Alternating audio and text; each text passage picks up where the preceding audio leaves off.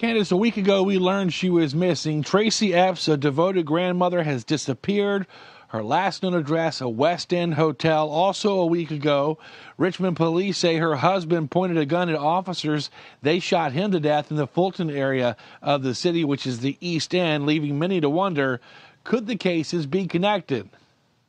What happened to 56 year old Tracy Epps? Crime Insider sources say she was staying at this West End hotel, and detectives do have evidence from a video surveillance system that raises questions about her well being. I have reached out to her on Facebook.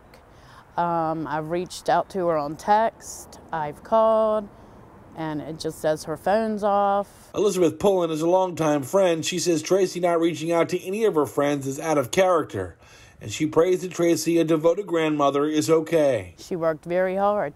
She worked for Owens and Minor for years, and she worked hard. She came to see me all the time.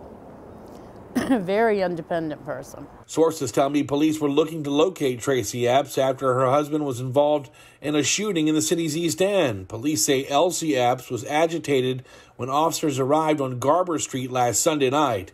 Police say he pointed a gun at two officers and they returned fire, killing him. My sources say detectives believe they found footage of Elsie prior to the deadly shooting. He was wheeling a luggage cart in the parking lot of the hotel where Tracy was staying, and she hasn't been seen since. We don't want to stop looking. We don't want to. We just want her found.